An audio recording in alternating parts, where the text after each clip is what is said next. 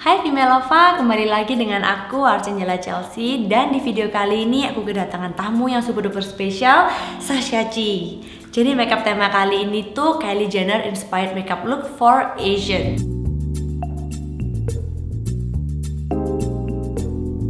Pertama-tama gunakan eyebrow pencil kamu untuk membingkai gunakan warna-warna seperti coklat tua untuk uh, untuk look kali ini karena memang eyebrow Kylie Jenner itu memang sedikit lebih, uh, sedikit lebih gelap.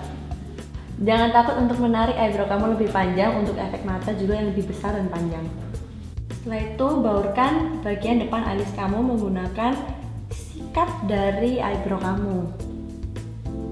Apabila warna eyebrow kamu kamu berasa kurang gelap, kamu bisa menggunakan eyebrow powder berwarna coklat tua dan baurkan eyebrow powder ini bersama dengan eyebrow pencil kamu tadi. Kamu bisa menggunakan produk seperti Brow Fix untuk menyikat eyebrow kamu. Tarik eyebrow kamu ke atas untuk efek mata yang lebih lifted. Setelah itu kita akan mengisi bagian mata Sasha. Pertama kali gunakan eyeshadow primer sebagai base mata kamu. Eyeshadow primer ini penting banget, terutama bagi kalian yang akan menggunakan warna-warna seperti bronze, dark chocolate, untuk menghindari eyeshadow dari fallout atau eh, jatuh ke bagian yang tidak kamu inginkan. Setelah itu, gunakan eyeshadow berwarna putih atau krem dan highlight seluruh kelopak mata kamu. Setelah itu, gunakan eyeshadow berwarna gold dan baurkan eyeshadow ini ke seluruh bagian kelopak mata. Apabila eyeshadow kamu itu jatuh-jatuh ke bagian bawah mata, kamu tidak perlu khawatir karena kita akan membersihkannya nanti menggunakan foundation atau concealer.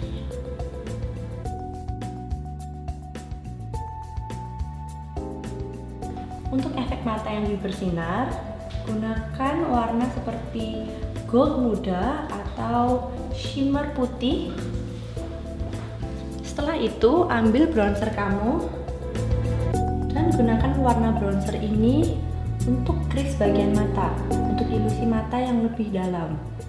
Dan baurkan semua warna yang ada di kelopak mata kamu menggunakan fluffy brush. Kenapa alasannya aku menggunakan bronzer di bagian kris mata? Karena bronzer ini kita akan juga gunakan sebagai blush on sehingga look secara natural akan terlihat lebih bronzy dan lebih senada. Setelah itu gunakan eyeliner cair kamu dan aplikasikan eyeliner membentuk wing liner.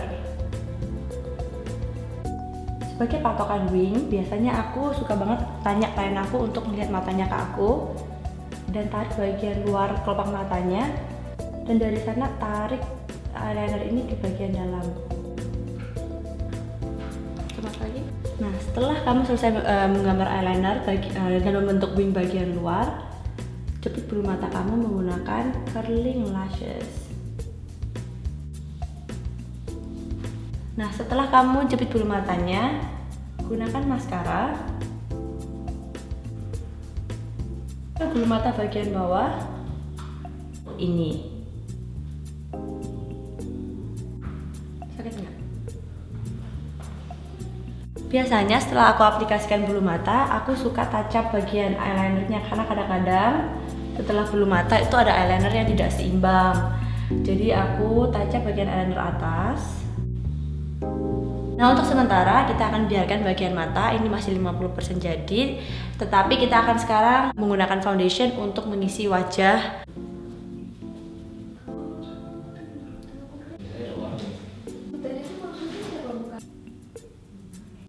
Nah setelah kamu selesai menggunakan foundation, aplikasikan concealer untuk bagian mata yang uh, terutama untuk kamu yang mempunyai kantong mata. Dan tarik concealer ini membentuk huruf V di bagian bawah mata. Dan tarik sampai ke tulang pipi. Kamu bisa menggunakan warna concealer yang satu shade lebih terang daripada warna kulit kamu. Karena kita juga bisa menggunakan concealer ini sebagai highlight dalam. Dan highlight um, juga untuk highlight bridge of the nose bagian atas bibir dan juga dagu Sasha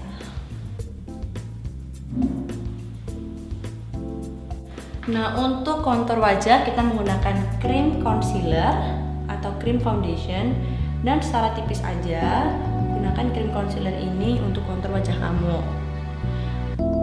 Karena udara Indonesia ini sangat-sangat lembab, jadi banyak banget klien aku tuh yang bilang kalau misalnya pakai krim kontur itu kelihatannya minyakan banget.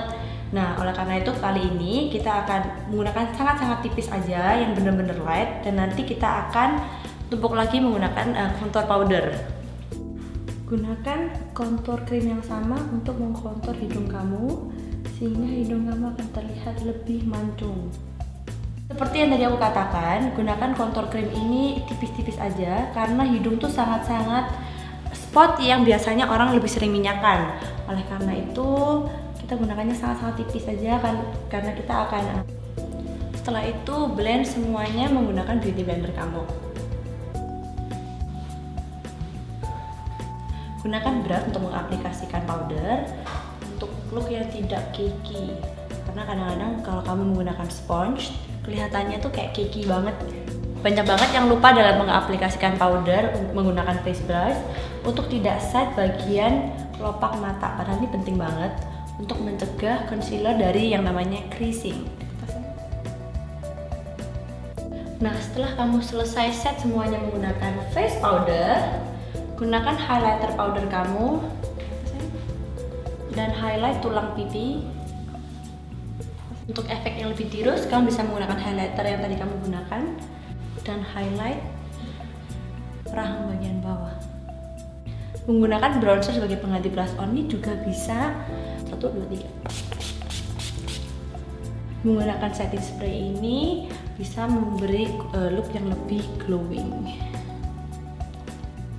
Nah setelah selesai di bagian wajah kita kembali lagi untuk menyelesaikan bagian mata Nah tadi kan kita udah memberi wing liner di kelopak mata bagian luar. Sekarang kita akan memberi wing liner untuk kelopak mata bagian dalam Untuk efek mata yang lebih cat eyes.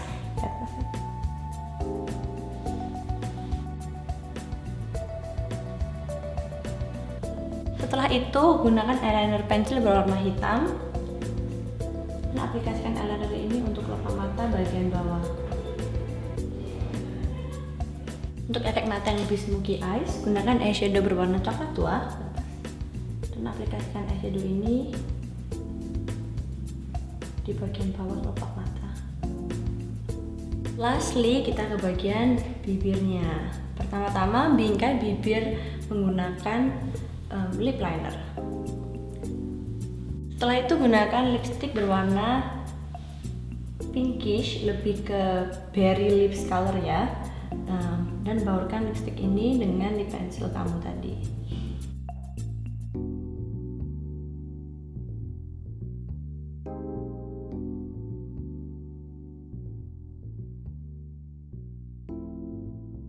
So this is it guys, the Kylie Jenner makeup inspired look. Um, gimana menurut kamu Sasha? Suka nggak? Suka banget, thank you banget transformasi. Semoga kalian enjoy video ini dan I'll see you guys very soon. Bye.